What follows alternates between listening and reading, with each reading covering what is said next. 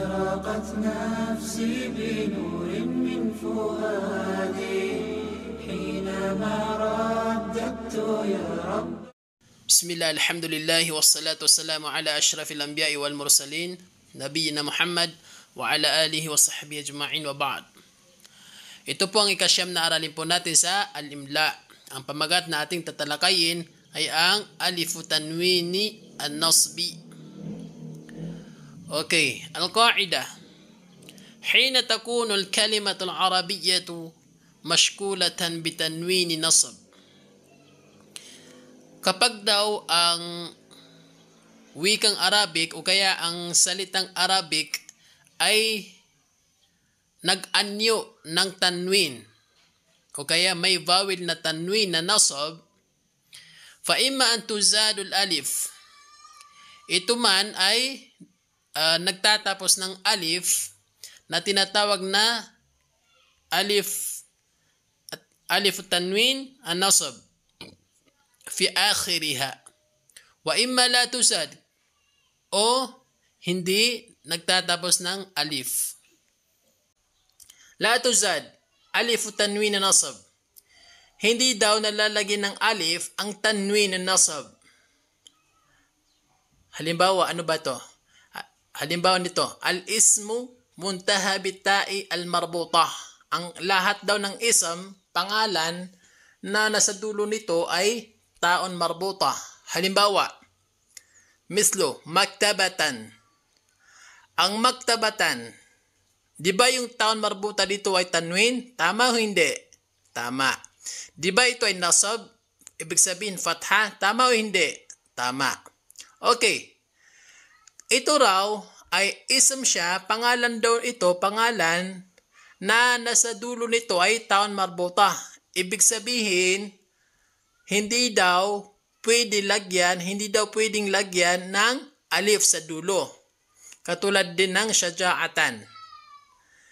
Ang syaja'atan ay tanwin din ito sa dulo niya, itong taon marbuta, tanwin, pero hindi siya na, pwede lagyan ng alif dahil uh, ito ay pangalan na nasa dulo ay taon marbuta.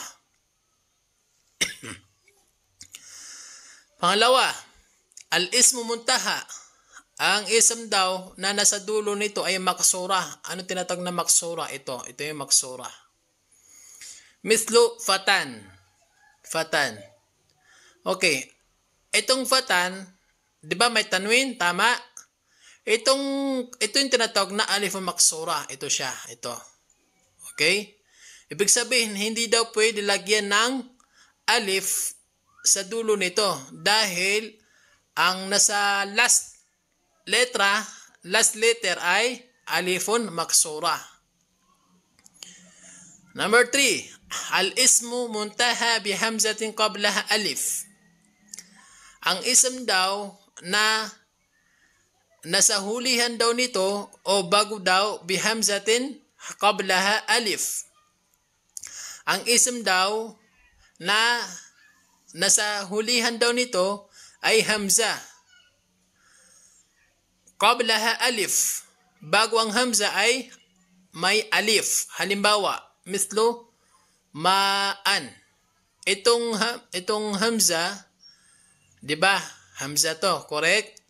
Tapos tanwin. Tama? Ngayon, bago daw 'yan ay mayroong alif. Saan yung alif? Ito, ito yung sa gitna. Ibig sabihin daw, hindi daw pwede na ang hamza na to na tanwin ay lagyan sa dulo na alif. Hindi daw pwede yon. Ganon din dito sa binaan. Ang dahilan, dahil ang hamza, ang unahan nito ay alif. Okay? Ikapat, ang ikaapat ay al-ismul muntaha bihamzati fawqa alif Ang ism daw na nasa dulo nito ay hamza na ang taas nito o kaya nasa itaas daw nito ay, ay, ay nasa itaas daw ng alif. Ulitin natin, pangalan na nasa hulihan ay hamza na nasa itaas ng alif. Halimbawa, ito, nabaan. Nabaan. Diba? ito may alif to, may hamza, pero nasa taas siya ng alif. Okay? So, hindi daw pwede natin lagyan ng alif. So, ano yung mga kalima o halimbawa na pwedeng lagyan ng alif? Mu'zamul asma. Lahat daw karamihan sa mga pangalan. Maliban na lamang ghairi ma sabaka zikruha fil ula. Maliban sa mga uh, na mga nabanggit natin daw dito. Mislo malakan. 'Di ba? Malakan. 'Di ba ito ay pangalan correct o hindi? Correct. May tanwin correct. May, may tanwin ba wala? Mayroon. Itong kaf, tanwin siya. Ngayon, nilagyan natin ng alif sa dulo. Malakan. Okay? Bakit pwede lagyan ng alif sa dulo? Dahil ang unang dahilan ay hindi taon marbuta ang dulo nito. Pangalawa, hindi rin alifun maksura. Pangatlo, ang wala ring hamza na nasa unahan niya ay alif. At hindi rin alif na nasa, taas, na, nasa itaas nito ay hamza. So malakan, pwede nating lagyan ng alif. O yan ang, ta, yan, yan ang tama. Lalagyan talaga ng alif. Ganon din sa kitaban. Kitaban. Ang tamang pagbigkas ay kitaban, hindi kitaba. Hindi ganon ha. Ito ang pinag-aaralan natin dito ay ang imla, spelling. Itong, itong kitaban, tingnan natin, itong ba ay tanwin. Tama o hindi? Tama. Ngayon, sa dulo nito ay alif. Bakit natin nalagyan ng alif? Dahil hindi siya taon marbuta, hindi rin siya alifun maksura, hindi rin siya, uh, wala rin siyang uh, hamza na sa unahan nito ay alif at hindi rin siya hamza na nasa itaas ng alif. Kaya pwede natin lagyan ng alif sa dulo, kitaban. Ganon din sa ruzzan. Ganon din sa iba pang mga isam.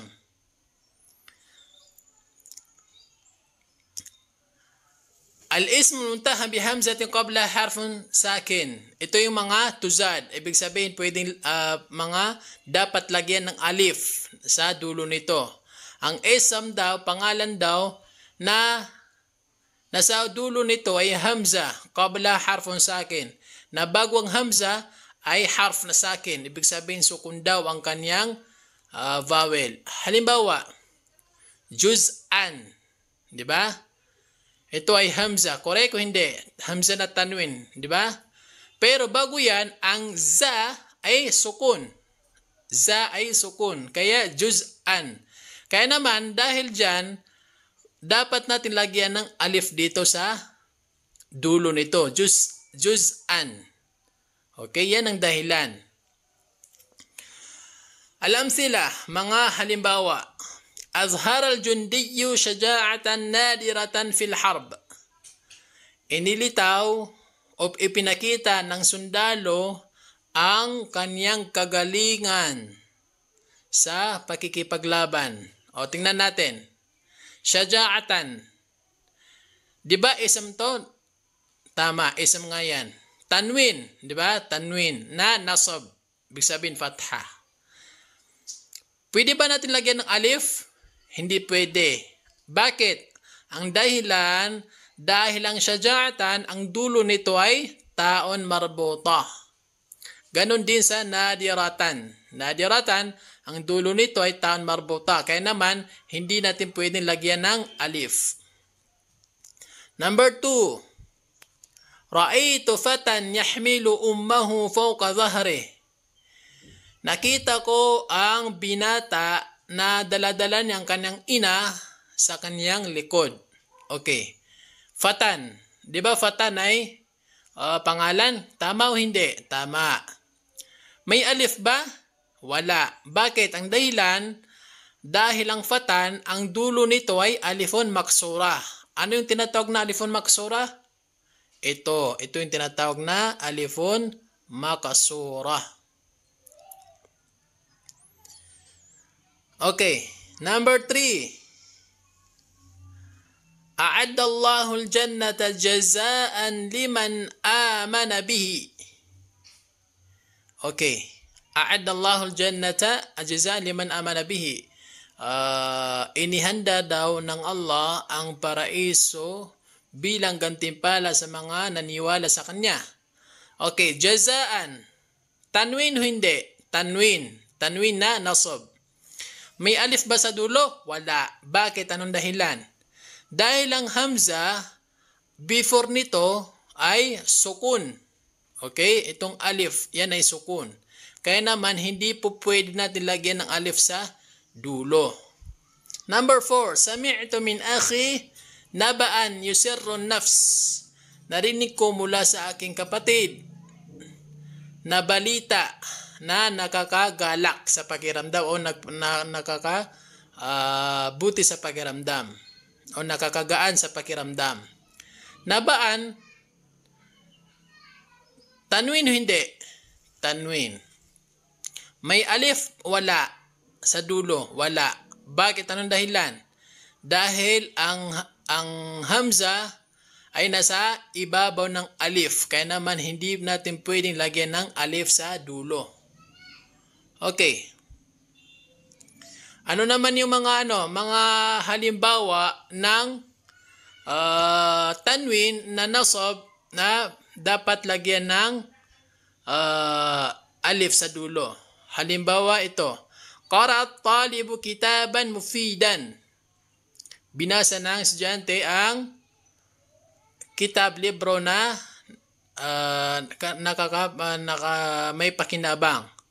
Itong kitaban, 'di ba? Ang ba tanwin, correct o hindi? Correct. May ang dulo nito ay alif. Ano ang dahilan? Dahil ang kitaban ay hindi taon marbuta ang kanyang dulo. Hindi rin alifun maksura hindi rin hamza na uh, before niya ay sukun.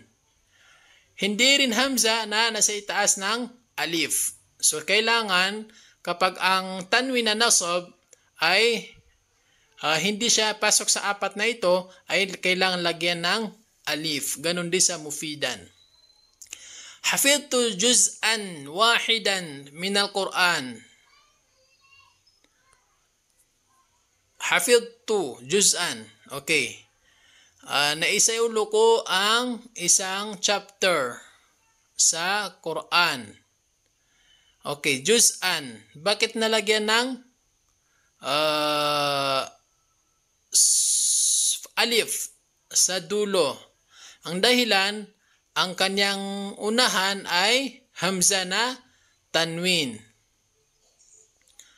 Ang dahilan, ay hamza na tanwin na ang unahan nito ay sukun. Okay? Juz'an. Wahidan.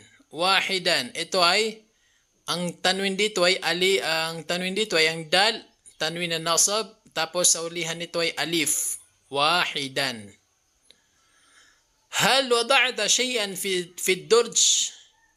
Nilagyan mo ba nalagyan mo ba na, uh, ng isang ng bagay ang uh, dirge? Ang dirge ito yung lalagyan ng mga uh, ito dahil halimbawa ng mga makeup, ganon. Dirge. Kaya kabinet, ganon. Shay'an. Itong shay'an, bakit natin nilagyan ng alif?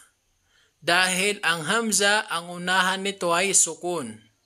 Kaya naman, dapat natin lagyan ng alif. Ang hamza ay tanwin. Okay. Number four. Arsaltu ilayha wardan zu zuhuran. Uh, nag, nagpadala ko o pinadalahan ko siya ng roses, ros, roses at bulaklak ito, maghalos magkapareho lang ng meaning. Okay, wardan. Bakit may alif? Dahil, uh, dahil una, ito ay fathan, tanwin nasab to. Fat, uh, nasab. Bakit may alif? Dahil walang taon marbuta sa dulo. Hindi rin alifon maksura. Hindi rin uh, Hamza. Tingnan natin. Hindi rin ang dulo nito ay Hamza. Oh. Okay, tama tama. Ang wardan ay ano? Uh, hindi tan marbuta, hindi rin alifun maksura. Ganon din dito sa zuhuran. Kaya naman, dapat lagyan ng alif sa dulo nito. Faida, as-sahih anna, anna fathatay tanwin نصب توضعان فوق الحرف الذي قبل الألف. Okay. Ang ta ang correct daw na ang kapag ang fathatain, ibig fathatay, ibig sabihin ang tanwin daw na nasab ay tuda tudaani fawqa al-harf ay inilalagay daw sa itaas ng letra alladhi qabla al-alif uh, alladhi qabla al-alif. Na ito ay before ang alif. Alladhi qabla al-alif before ang alif. Ibig sabihin daw ang ang fathatain ang tanwin na fathatain ay inilalagay daw sa itaas ng alif. Alladhi qabla al-alif. Kapag daw uh, uh, bago ang alif. Walaysa ta fawqa alif at hindi rin nasa itaas ng alif. Liannahu huwa al-munawwanu walaysa al-alif. Dahil daw uh, hindi daw yun ang munawwan. Hindi daw o liannahu huwa al-munawwan. Ibig sabihin daw ang halimbawa wardan, 'di ba wardan? Saan doon ang, di ba may tanwin ng dal? Mayroon. Yung tanwin na yon hindi daw isinusulat sa itaas ng alif. Dahil hindi daw yun ang uh, munawan. Hindi daw yun ang may tanwin. Kundi ang dal. Wardan. Okay? So ang tantandaan po natin dito ang ito lang sila.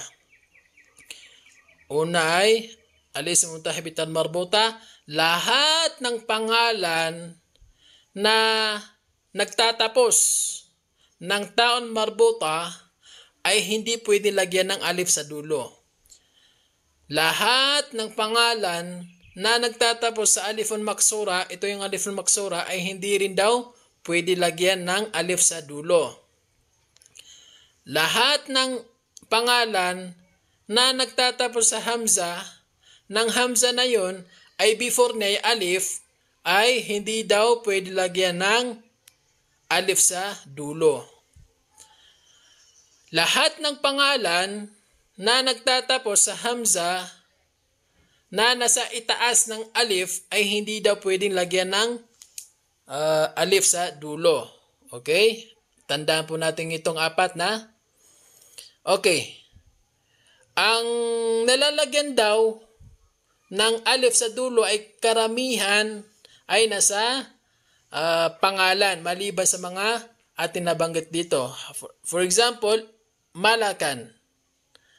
Malakan ay uh, walang tarmabuta, hindi rin alifun maksura, hindi rin hamza na unahan ay alif at hindi rin hamza na nasa ibabaw ng alif. Ganun po. Pagkatapos, lahat daw ng pangalan na uh, before ng Hamza, oh, lahat ng pangalan na nagtatapos sa Hamza at ang before ng Hamza ay harfon sa akin, ay sukundawang vowel.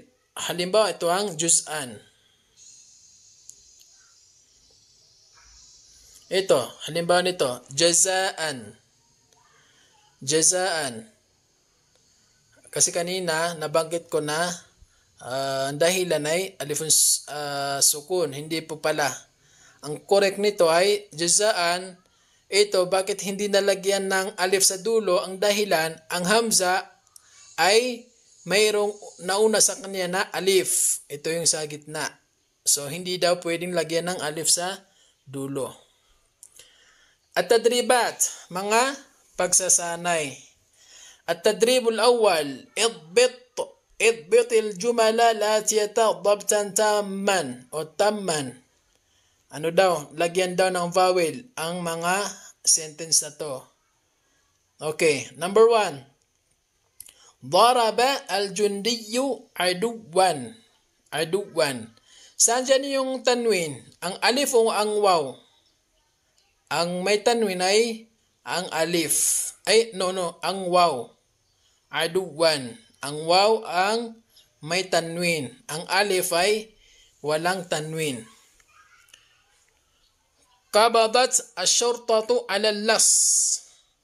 Hinuli ng uh, pulis ang magnanakaw o snatcher. Wala namang ano dito. Wala namang fa wala namang uh, tanwin dito. Number 3, Hafiz Aliyun juz'an wahida min al-Quran. Ito, juz'an. Bakit mayroong alif sa dulo? Ang dahilan, ang hamza, ang before niya ay sukun. So, kailangan lagyan ng alif. Ganun. Ang wahidan ay uh, nalagyan ng alif. Ang dahilan ay hindi taon marbuta ang kanyang, hindi nagtatapos sa taon marbuta, hindi rin nagtatapos sa alif maksura, at uh, hindi rin nagtatapos sa hamza na ang unahan nito ay alif at hindi rin uh, hamza nasa, itata, nasa itaas ng alif. Kaya naman, wahidan ay, na, ay nagtatapos sa alif o nilagyan ng alif dahil doon. Number 4, hamala talibu al-karasatan. Okay, dinala ng estudyante ang karasatan. Ang karasatan ay ang uh, upuan, karasatan. Bakit pwede ba natin lagyan ng alif sa dulo? Hindi. Ang dahilan ay taon marbuta ito.